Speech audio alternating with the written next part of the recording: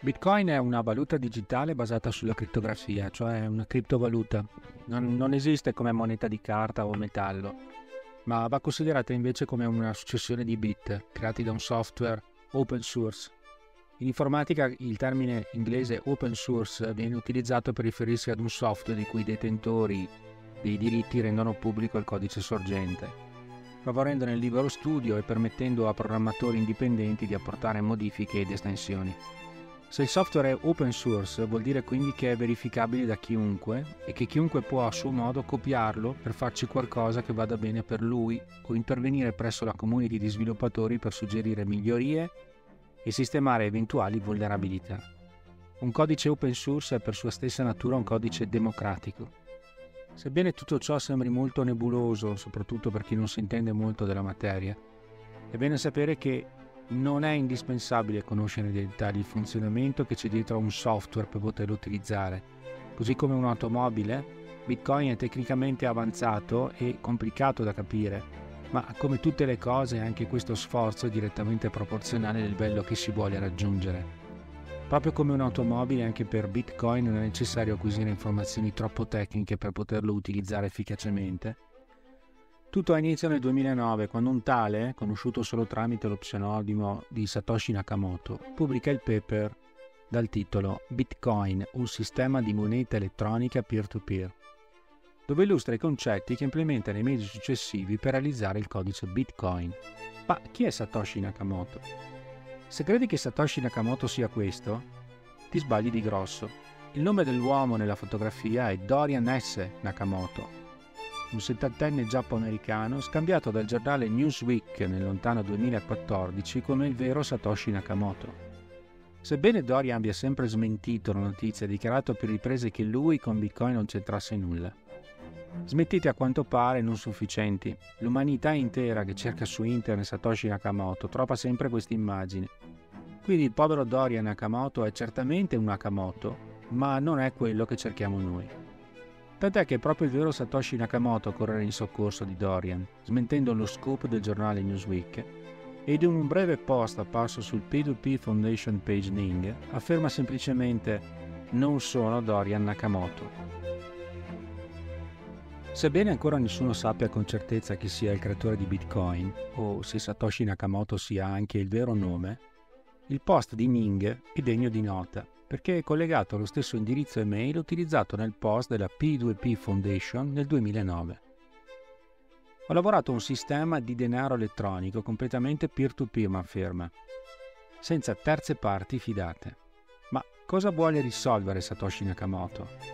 In pratica la domanda a cui Nakamoto vuole dare una risposta è si può costruire un sistema per fare transazioni elettroniche che facciano a meno della necessità di un intermediario su cui porre la fiducia e che coinvolga solo i diretti interessati?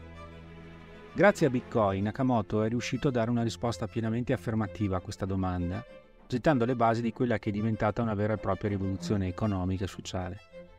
Nakamoto continua c'è bisogno di un sistema di pagamento elettronico basato solo su prove crittografiche, permettendo di fatto ai diretti interessati di fare un pagamento senza avere bisogno di una terza parte fidata.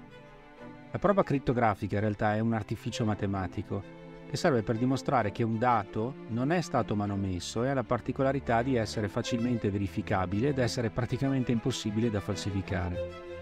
Ma la cosa importante dell'affermazione di Nakamoto è i diretti interessati sono autonomi nel fare questa verifica, non c'è bisogno cioè di nessuno che garantisca alcunché.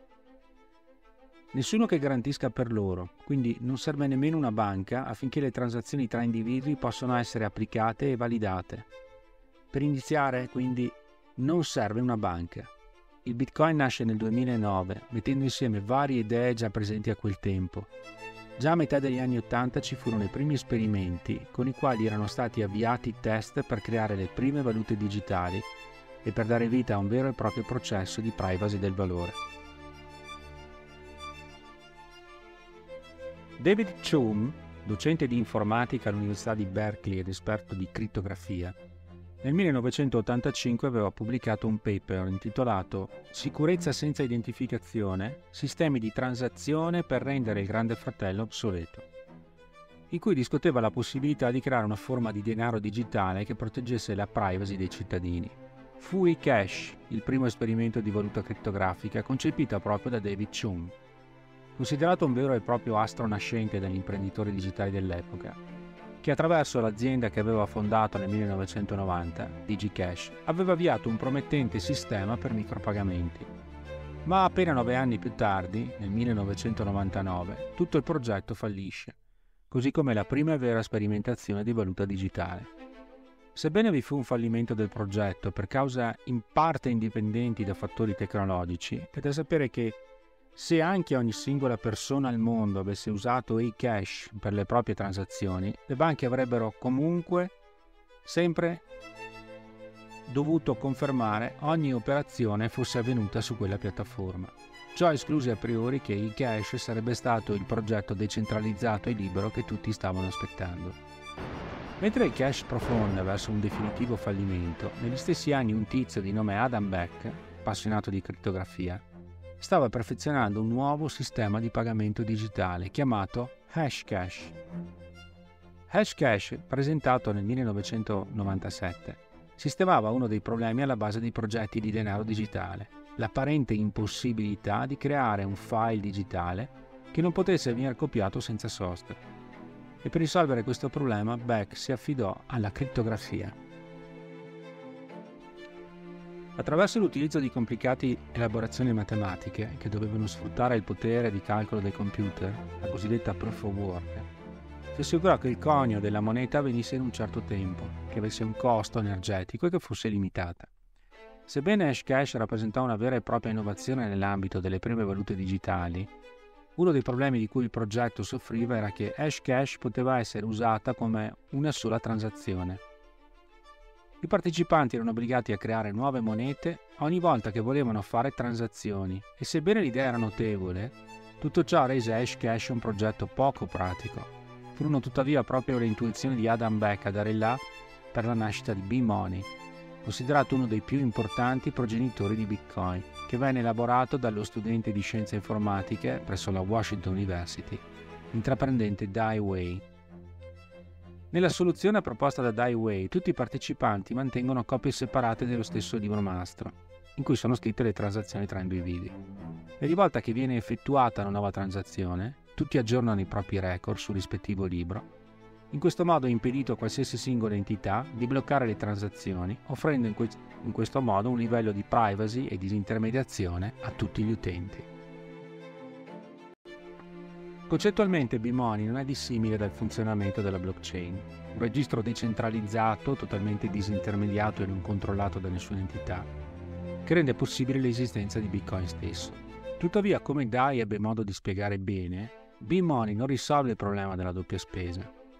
Alice avrebbe potuto inviare due unità B-Money sia al B di Bob che al C di Carol contemporaneamente, trasmettendo queste transazioni a parti diverse della rete e sia Bob che Carol avrebbero potuto scoprire in seguito che metà della rete non avrebbe riconosciuto i loro equilibri.